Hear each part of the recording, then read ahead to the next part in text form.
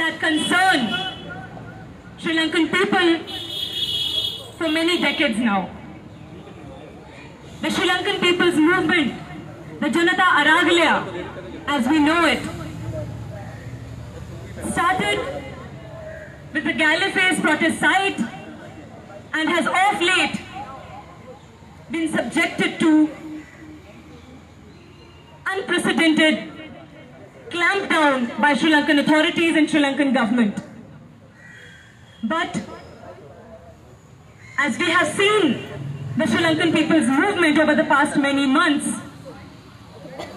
we are also witness to the fact that the Aragalaya and their movement, though has been trying, has been a test of both nerves and persist, uh, persistence, but the Aragalaya lacks none.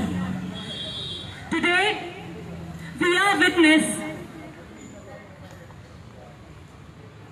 to hundreds of people having lost their lives in the Sri Lankan people's struggle. Their struggle for equal access to basic resources in society, which have increasingly been hoarded by both the local capitalists and the foreign elite and their nexus along with the parliamentarian and ruling elite of Sri Lanka. In the past few months, the Sri Lankan people, be it the ouster of the then president, Ra- Gotabaya Rajapaksa, as well as the ouster of Ranil Wickremesinghe, people's struggle in Sri Lanka stands strong. Today, not just in India, the laboring masses all over the world seek to offer their solidarity in support of the people's struggle in Sri Lanka. Sri Lankan people have been struggling for access to basic commodities like cooking oil, fuel, medicines, and whatnot. And at the same time, we have seen the authorities hoarding limitless amounts of money and credit and capital. And this is the contradiction that we have been witness to both in Sri Lanka, in India, and many other countries like Greece, Libya, Syria, and so on. Friends, today, the scenario that we have seen in Sri Lanka is a revolutionary moment. A moment where people's power, the power that the people, the laboring people, the working people of any country, of any community possess, has come out strong. And we need to ensure that the struggle reaches its desired end. And for that, as has been amply illustrated by both the struggle of the Sri Lankan people as well as regular contributors to the issue like Dr. Maya John, who we are very grateful to have today as our guest speaker for today's public meeting.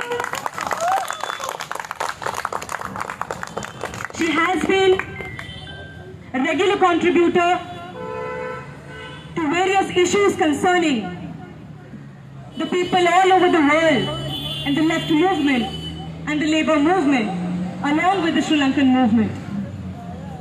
Dr. Maya John is a professor of history at Jesus and Mary College and she was the first woman president of St. Stephen's College of Delhi University and one of the first forerunners, first pioneers on, who crusaded around the issues of rent regulation and hostels for women. Around the many write-ups that she has regularly contributed on the Sri Lankan struggle, one of the most powerful ideas is that people are the real constituents of power. And today, what is needed in Sri Lanka is that the revolutionary moment be captured by the collective strength of the people from all corners and the people's power be not allowed to rotate back to the same parliamentary system which exists and pretends to represent the people, but at its heart is merely a representation of the local and foreign capitalist elite. While the majority of the people in Sri Lanka have been forced to die in the serpentine queues for access to basic commodities, while raising their voice against repression, while raising their voice to demand their basic rights, the small minority of parliamentarians, the small minority of local and foreign ruling elite continues to mock the people's demands, the people's power, the people's movement. And today we have organized this public meeting in support of the people's struggle in Sri Lanka. Of late, we have witnessed the recently illegitimately elected Ranil Wickremesinghe government trying to repeatedly oust the pro- protesters from protesting sites, trying to clamp down on the protesters and students throughout the country, and repeatedly trying to silence dissent, to silence democracy. From here, we would once again raise the fact that history has often made us witness and continues to in the struggle of people from Sri Lanka, from Libya, from Greece, from Egypt, from India and so on.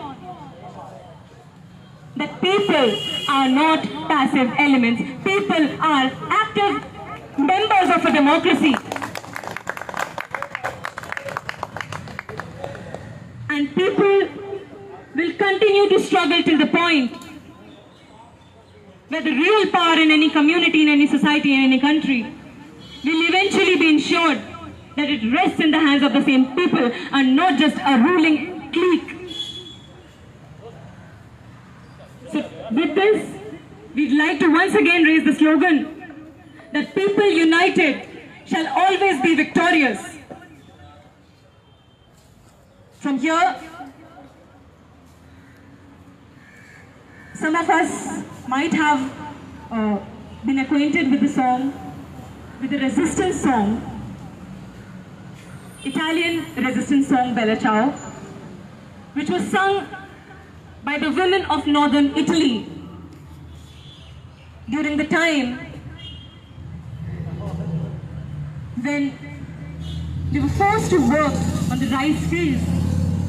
Majority of the women, along with other men, at substandard, below dignity wages.